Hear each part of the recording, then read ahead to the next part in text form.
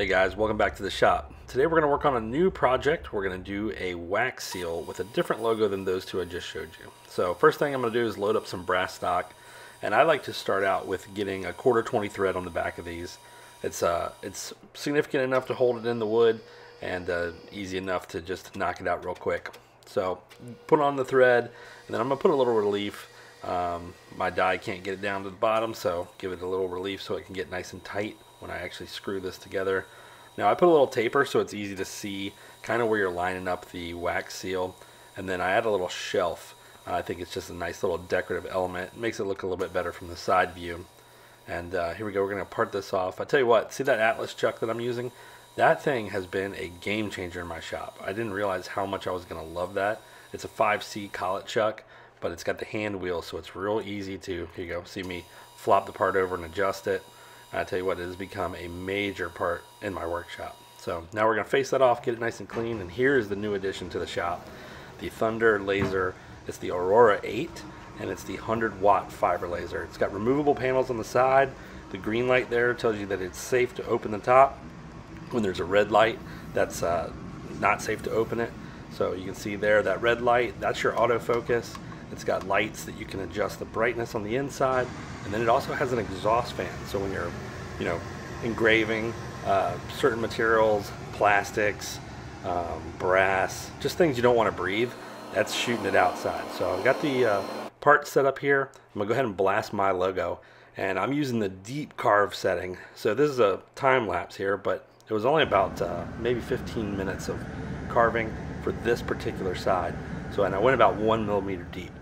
And the one millimeter deep I think is key. So once we get that finished, I'm gonna go ahead. This is a walnut. Um, actually, no, it's not walnut. This is the cocobolo that a little bit of cocobolo I had left over.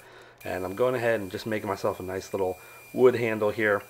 And one thing that's different about this uh, particular um, wax seal that I wanted to do, the when you're lining up a wax seal, it's kind of difficult sometimes because you don't know exactly where your art lines up. So I decided to make a little cavity in the back and I made a coin uh, with the same logo that I'm going to be stamping so that I can line them up and index it so it's really easy for me to tell where the um, where the wax stamp is going to be nice and straight. I hate getting them uh, crooked when I stamp the letters for customers.